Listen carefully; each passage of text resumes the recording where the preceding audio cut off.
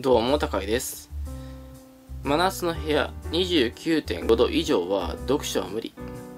私自身の部屋がエアコンを設置できないような環境であるってこともあるんですけど、別に他の部屋にエアコンはついてるってとこあるんです。ただそのエアコンは昔の、大昔のもので、木のエアコンなんですよ。で、しかも故障してると。で、変える気は一切ない。それはお金がもったいないからみたいな感じの人がいるんですよね。では、扇風機使えばいいんじゃね？って思うでしょ？ただ、扇風機の調子悪くてね、最近注文したんですよ。早く届かないかなって思う。ただ、そういう猛暑でも私はこういう長袖着てるんですよね。それなんでかって言ったら、私はすごい蚊に刺されやすくてね。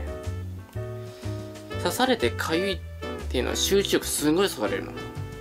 で、こういう長袖を着ることによって蚊に刺されることを防止を少しでもね、刺されないようにするっていうことを対策として長袖を着てます。でも普段はこうやってね、半袖みたいにやってるよ。こんな感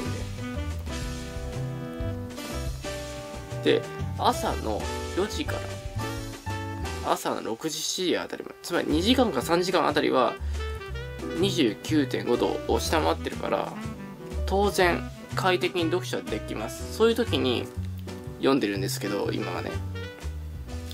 今はこんな本を読んで、しかも読んだ上で、今の場合はこういうところに要点をまとめて書いていっている。別にね、ただただ写し書きをしてるってことじゃないんですよ。読んでここだけ必要だなってことを抜粋していって必要なとこだけ取り寄せてってる。ってことをやってる。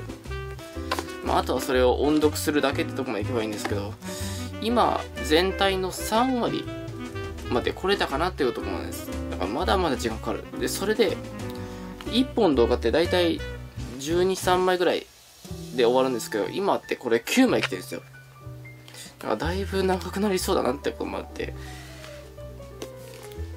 まだまだ暑い日が続きますけど、私自身もコツコツと空き時間使ってややりますので、快適な時間作って、それでまたこうやって読書のようにアウトプットってことをやっていくので、今後ともよろしくお願いします。